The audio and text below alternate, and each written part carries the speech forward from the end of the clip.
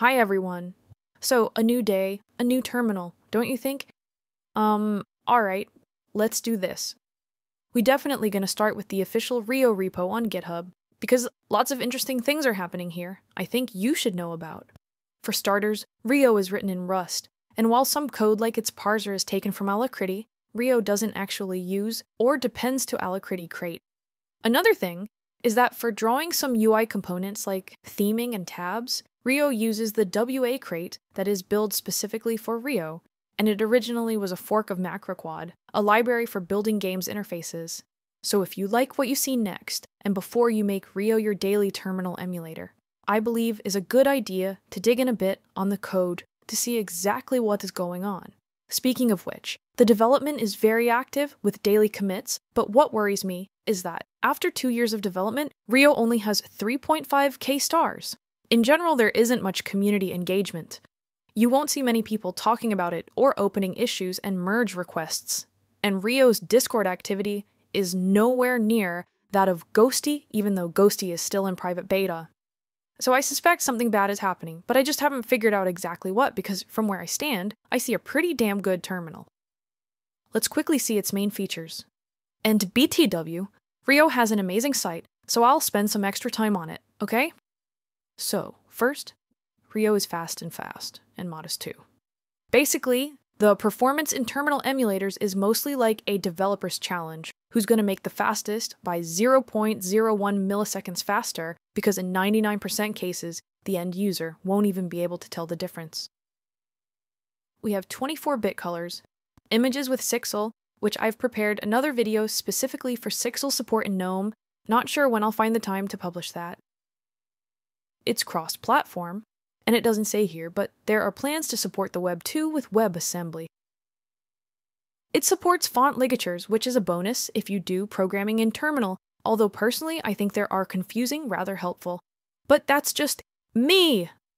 It has split panes, and it also has tabs, and both are super nice. And that's possibly my favorite. It supports RetroArch shaders. Some will slow it impossibly much, but we can run enough of them smoothly, with some energy penalty, of course. Also, Ghostty can do that too, definitely a highlight of both terminals. Meanwhile, another cool thing with Rio website is the releases changelog. That makes sure you won't miss anything new, which I can't say for GNOME. That is super hard, even for reviewers to discover what's actually new, let alone the poor users. For instance, in version 1.18, Rio added the split terminals, and the RetroArch shaders too. No way current users would know unless they've seen the changelogs. It's important, guys. Also important and also very well made is the configuration options page. The options are saved in a TOML file. We only save the options, we override the defaults, and the format is very similar to Alacritty. Actually, many options are exactly the same as Alacritty, like the decorations property and more. Many more. Don't miss to check this, although Rio will automatically create a configuration file that explains almost all the options with comments. For example, on backend, we can set the Vulkan render instead the OpenGL that is the default in Linux. We can also see how Rio looks with blur. You can see, but you can't touch. Um, if you're using GNOME. So, here we go, guys. I'm running Rio from master branch, so I run everything latest and I'm gonna super quickly show you how it works. For start, for getting the rounded corners, I'm using the Rounded Window Corners Reborn Shell extension, which is the primary reason why I'm not going to make Rio my default. That extension causes lots of weird artifacts. It is already broken on GNOME 48 development, so I had to downgrade for doing this video, and Rio with square corners, or a title bar, just looks crap. Also, I see there are some issues with glyphs rendering. For example, this one's missing. And that one is kind of bigger than it should. Another problem is with the blinking cursor. On Wayland and Vulkan, sometimes it gets disappeared for some milliseconds, which is enough time for making it impossible to use, so unfortunately I had to disable the blinking. Other times I've noticed actual Latin characters are rendered wrong, although this rarely happens. But yesterday, it totally drove me nuts when it couldn't render the B letter. Um, I think I just placed some of the reasons why Rio is a low stars project. But those problems aside, that apart rounded corners, all the rest will probably get fixed. Rio is pretty neat. Control Shift and Tab will open a new tab, And we have these graphics that I totally love. We can also use classic tab styles though. We'll show you in a bit. The other thing is the split panes. Control Shift R for splitting vertical. Control Shift D for splitting horizontally. We can't currently resize them, but there is an issue open from the maintainer to add this with mouse. So hopefully on the next version would be there. Control tab goes to next tab. Control Shift tab goes to the previous. I guess that pretty much everything. Um, just wait to show you my config?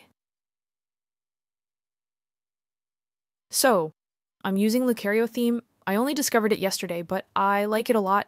Unfortunately, I couldn't find it for Zed. Bummer! Then it's some padding I set. But the most important is this one, I guess. By default, Rio and Linux will spawn new processes, which means it will create a completely new process, so we can set that to fork. That will create a child process, so theoretically should perform better, although in documentation says it hasn't great support in POSIX systems. That's where I disabled blinking, because it doesn't work very good. The default editor, Micro, the one I'm using right now, the size for new windows, and the disabled decorations. I so wish GNOME could do that, like Mac OS and makes every window corner round. Next is the renderer section, and I have set performance to high, which is mostly for discrete GPUs, and it basically affects the behavior of WGPU. Also, I have set the renderer to Vulkan, which is needed for using the shader's capability, that I'm going to show you right away.